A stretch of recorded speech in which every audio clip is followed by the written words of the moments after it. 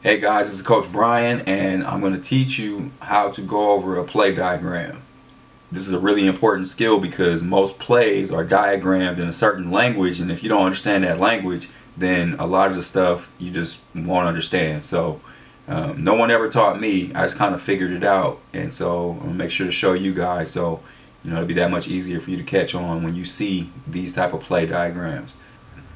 So first things first, this circle means that he has the ball. So that's the point guard. He started off with the ball. When you see this kind of zigzag squiggly line, that means he's dribbling the ball. So there's different arrows and there's different you know types of arrows for different things, but that little squiggly line into an arrow means that he's dribbling the ball. So in this situation, the four and the five are setting ball screens for the one. And he's dribbling off those screens. When he gets here, he's looking at a pass. So, and potentially actually passing it. So anytime you see this T, that's a screen. Could be a ball screen, could be a down screen, could be a screen away from the ball, whatever. But um, anytime you see the T, that's a screen. Anytime you see a solid arrow, that's movement. So the five, after he sets this ball screen, he cut back to the basket. Um, in fact, the number three, who was in the corner, set a back screen for this number five to cut to the basket. So, hope that makes sense. So, once he gets to the basket, the one should be over here, and that dotted line means that he was attempting to pass the ball or he passed it. But that's the that's the look.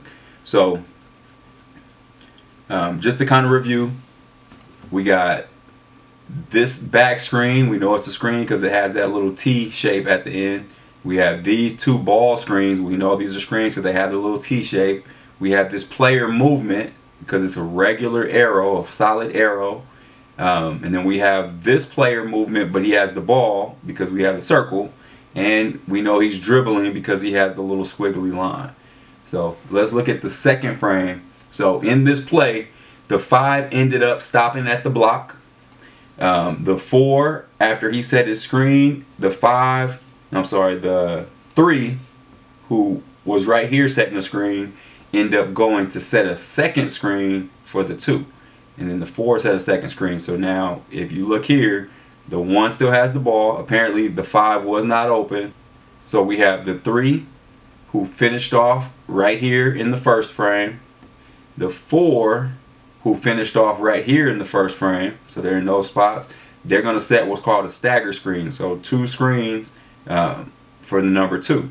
The number two is going to do player movement. So he's going to run to set his guy up and then come running off this screen. And then I see a dotted line with the arrow. That means we're passing the ball to him. He'll probably be open for the shot. So that's pretty much the different things you'll see. Um, there are a couple of different little little things that you may possibly see on a play diagram, but this is the the bulk of it. So you have you know your all your players are numbered one through five typically. You have dotted lines for passes. You have solid lines for player movement. You have these little T's to say you're setting a screen. So this screen was away from the ball. Um, same thing if you have a ball screen, it's a little T. Um, if you do see this can be confusing, it's a screen into player movement. So he set a screen, then he moved without the ball. Anytime you move with the ball, that means you're dribbling, and so you have this little zigzaggy line, and that's pretty much it. So not too tough, but it's important to understand exactly how this stuff works. So you know when you do see a play, you can actually read it properly.